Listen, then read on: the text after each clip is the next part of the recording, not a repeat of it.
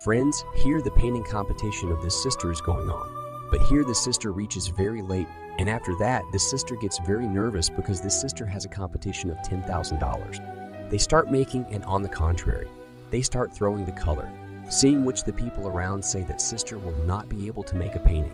Sister spoiled the entire painting with color. Sister will impress the judge by making this painting and win $10,000. So friends, before seeing that, finally, see how beautiful sister makes a painting and also wins $10,000.